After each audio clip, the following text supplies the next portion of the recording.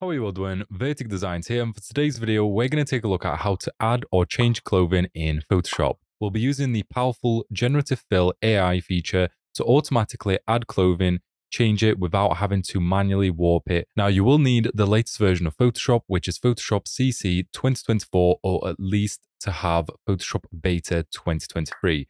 This is so that you have the generative fill feature. Now, once you're inside of Photoshop, the first thing that you want to do is you want to make sure that you have this toolbar right here. This is the contextual taskbar.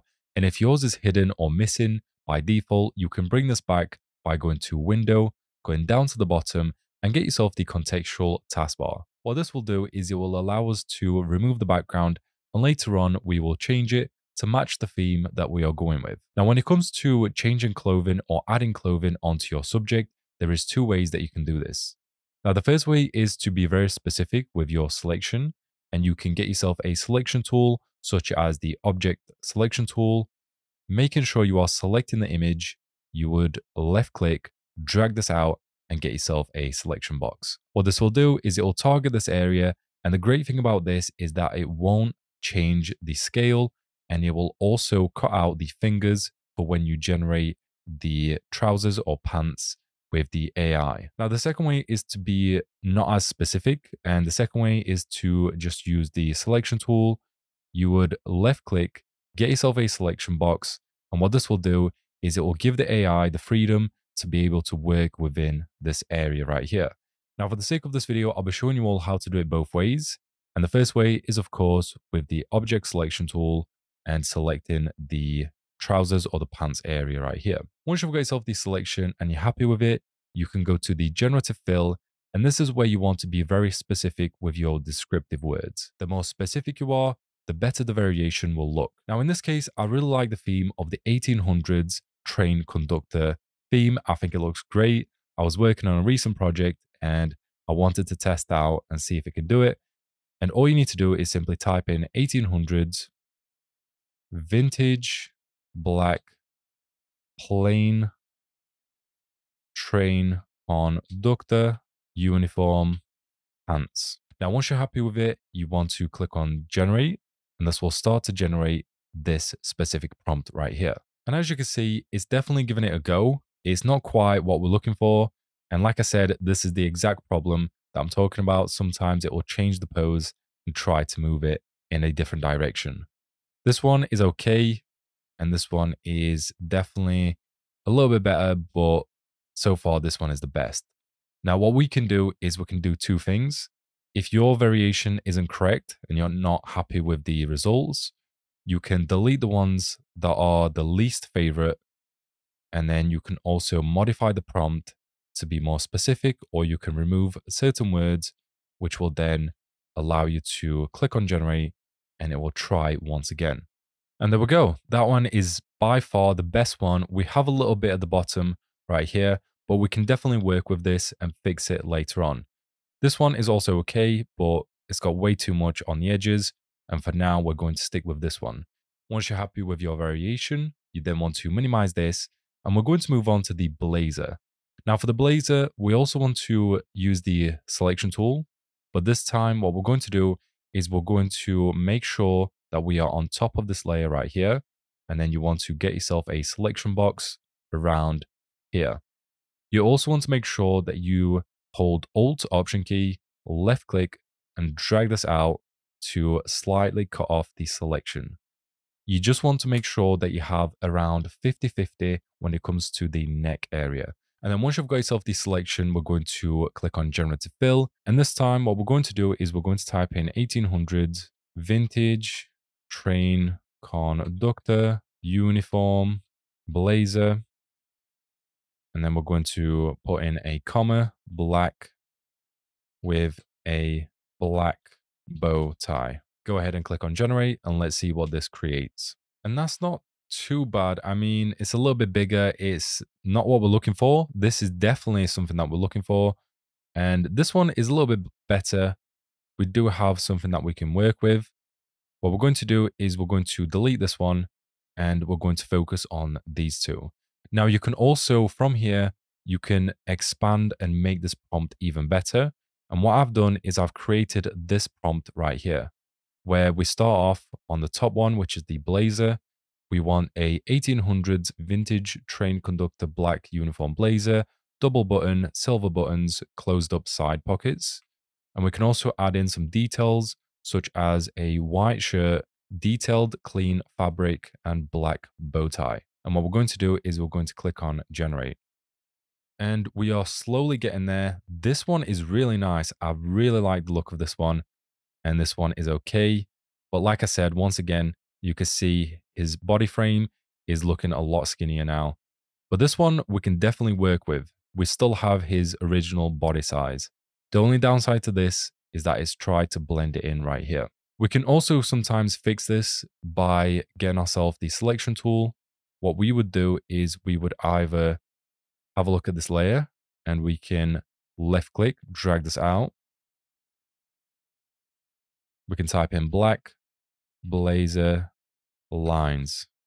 Click on generate. It's not quite added what we're looking for. Maybe those words weren't specific. I suppose we can also stick with this one. This could also work. And what we're going to do now is, of course, we're also going to apply a hat because to finish this look off, we definitely need a train conductor hat. And to do this, we're just going to zoom in. For this one, you want to make sure that you are selecting yourself the main image and you want to left click, drag this out and get yourself a selection box. Now with this selection box, you also want to make sure that you get a decent height with a decent size on this selection. We're going to click on generative fill. And for this one, we're going to type in 1800s vintage train conductor hat, comma, black. And let's see what this creates. Now that is not exactly what we're looking for. The other variations are even worse. What we're going to do is we're just going to slightly modify this prompt and we're going to change it to 1800s vintage black train conductor hat. And hopefully it will do a better job this time at creating this variation. And there we go. That is looking a lot better. We can definitely work with this. What we're going to do is we're going to stick with this one and we're going to remove this gold bit right here and also these areas right here.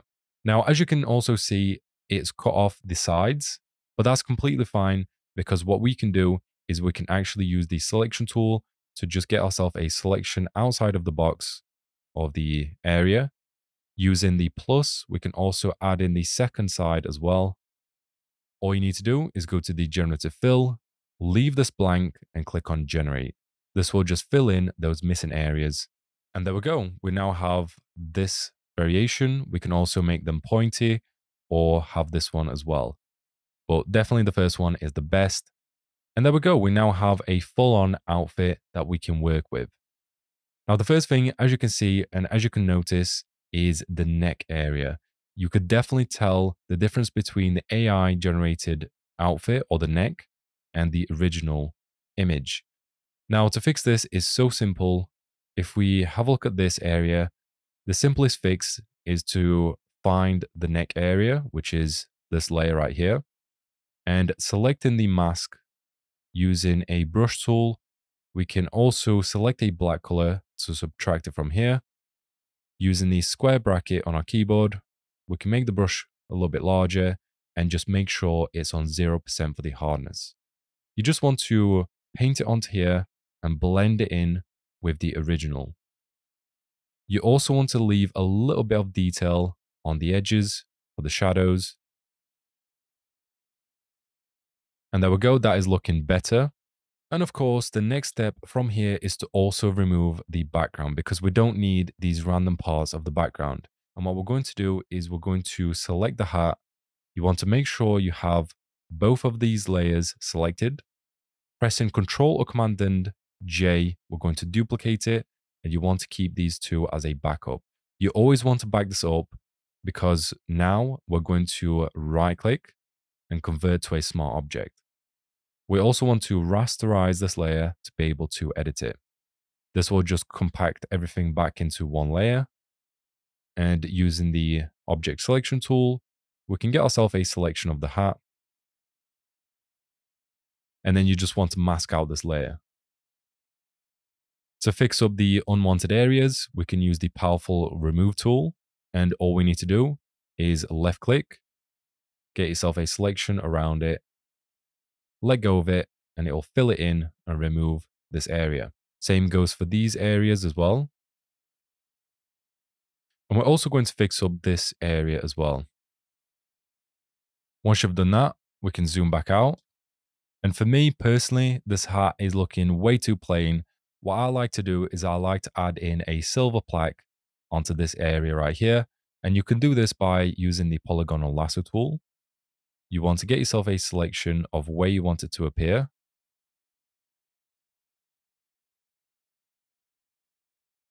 Connect it up, get yourself to the generative fill, and then we're going to type in silver plaque with the numbers 4521. Click on generate and let's see what this creates. And that's not too bad. I do like the look of this. Ooh, the second one is even better. And the third one is not great. We're going to delete the last one and just generate once again with this one. And that isn't great. I would definitely say this one is really good. We have a, a little bit of distortion on the four, but we can delete this one, delete the second one, and we can work with this one. And for me, I'm going to stick with this one as the best one that we've generated. We're just going to minimize this and also fix up this part of the hat. Going back onto this layer, using the polygonal lasso tool, subtract it from here.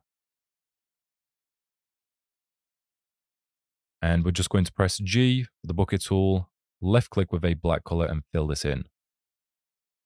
And as you can see so far, this is actually looking fairly good. I am happy with the results. We also need to fix up the trousers at the bottom right here. And to fix this, we may need to switch to the clone stamp tool. This one will never let us down because we can use the n square bracket on our keyboard. We can just make sure that we are selecting this layer, holding Alt, left click on here, and then just add it onto here.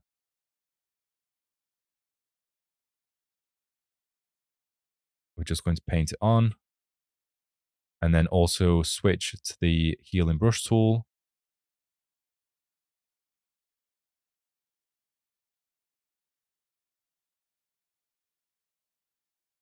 And there we go. That is looking a lot better. We're also going to remove the background from the blazer. Pressing Control or Command and J, hiding the one underneath it, and then once again rasterize this layer. Using the Object Selection tool, we're going to select the outfit. Double checking the selection and everything is good. We may also need to fix up this area with the polygon lasso tool and just subtract it from here.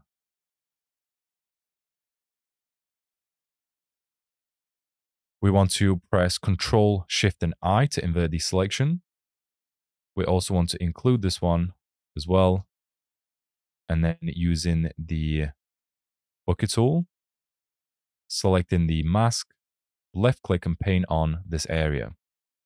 If you see parts of the background or parts of the person, you will also need to duplicate the original image as a backup by right clicking on it, duplicate layer, hide the one underneath it or the original, and then select the name mask you want to press B on your keyboard to get yourself the brush tool. Subtract it from here.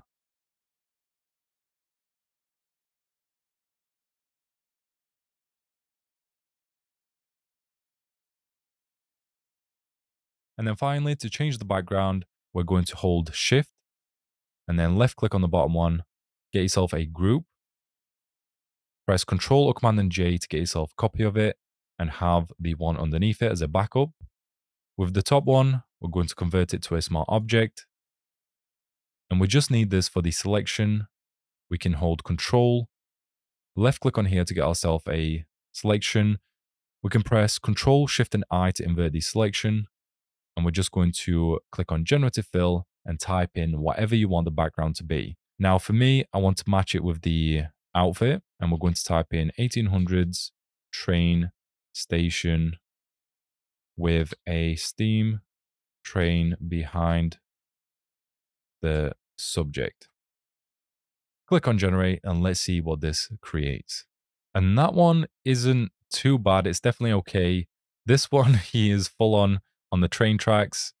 And this one, it looks like he's at the side of the train. We could definitely work with this one. I do like the look of this one. And once you're happy with your selection or the background, you may also run into this little problem right here. Now, I'm not sure why this happens, but to fix this, all you need to do is get yourself a few different copies or the same copy of your background. And what this will do is it will fill in those transparent pixels and make it solid once again. And that's pretty much it. That is how you add or change clothing in Photoshop. You may also like this next video up on the screen. But until next time, I'll see you all in the next video. Bye.